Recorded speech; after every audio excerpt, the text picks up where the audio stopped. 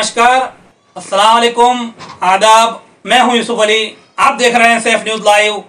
आइए देखते हैं आज की खास खबर। सोने के गहनों की चोरी का अर्धशतक पूरा करने वाली शातिर महिला को मुंबई पुलिस ने किया गिरफ़्तार। गहना खरीद के बहाने ज्वेलरी शॉप में घुसकर अंजाम दे दी थी चोरी। पचास से ज़्यादा ज्वेलरी शॉप को बना चुकी है शिकार। इस तस्वीर में दिखाई देने वाली इस मासूम सी औरत के पीछे एक शातिर चोर छिपी है। जी हाँ इस महिला को डिंडोशी पुलिस ने हाल ही में गिरफ़्तार किया है। महिला के पास से 18 ग्राम सोने के गहने भी बरामद हुए हैं। पुलिस ने महिला को दुकान में लगे सीसीटीवी की मदद से गिरफ़्तार किया है। जाँच में पता चला है कि यह महिला मुंबई के अलग अलग इलाके से कुछ दिनों के अंतराल में एक ज्वेलरी शॉप में चोरी अंजाम देती थी। महिला पर अब तक दर्जनों मामले दर्ज है। इस महिला की खासियत यह है कि चोरी की शिकायत कोई न करे, इसलिए यह सिर्फ़ सोने के कम वज़न वाले बेबी टॉप्स ही चुराती थी।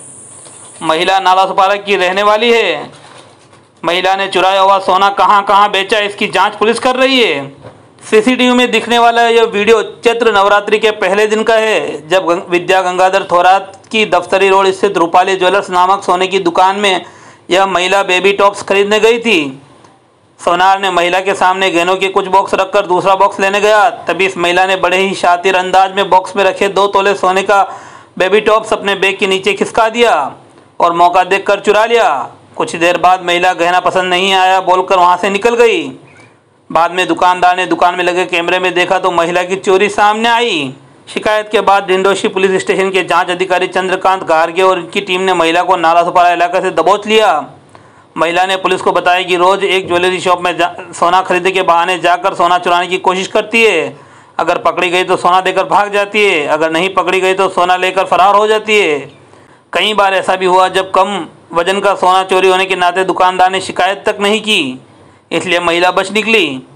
रूपाली ज्वेलर्स में चोरी के पहले भी महिला ने मलाड़ की दूसरी दुकानों में सोना चोरी की थी, जहाँ वह पकड़ी गई थी, लेकिन सोनार को सोना वापस देकर महिला बच गई।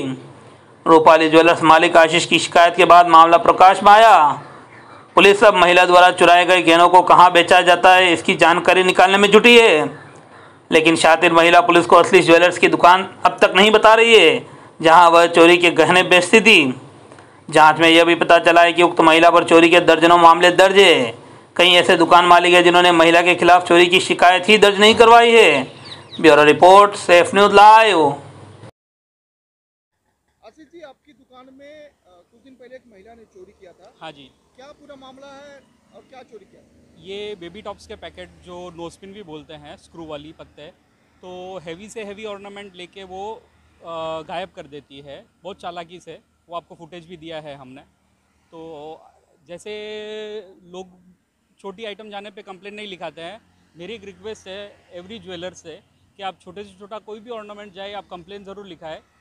तो उससे क्या चोर भी पकड़ेगा और अपना मोटिव भी क्लियर होता है कि ट्रांसपेरेंसी क्लीन होता है क्लाइंट और कस्टमर और कोई भी क्लाइंट आता है हम तो उनको चोर नहीं सस्पेक्ट कर सकते हैं हम तो नॉर्मली बताते हैं। तो वो हिसाब से कोई भी ऑर्नामेंट गायब हो आप कंप्लेन ज़रूर कीजिए क्योंकि जो रिकवरी ये पुलिस ऑफिसर कर रहे हैं अपने लिए तो वो बेस्ट है और ये सोसाइटी को भी एक अवेयरनेस है। तो ये आप प्लीज़ कंप्लेन ज़रूर करिए। आपकी कितनी सोने की रिकवरी हुई है? मेरे अठारह ग्राम की रिकवरी हुई है। ये महिला कहाँ रहती है? क्या जानकारी पुलिस ने? क्या बताया ये कुछ बोल रहे हैं नाला सुपारा और दर रोज एक दुकान टारगेट करती है और चोरी करती ही है और मोस्टली नोज़ पिन और ये चीज़ ही तो पैकेट पूरा गायब करती है। हमारे चैनल सेफ़ न्यूज़ लाइव पे अपने व्यापार एवं सेवा से संबंधित विज्ञापन हेतु mobile number seven three eight five nine five two seven eight six अथवा seven seven three eight two six seven seven eight six पर संपर्क करें।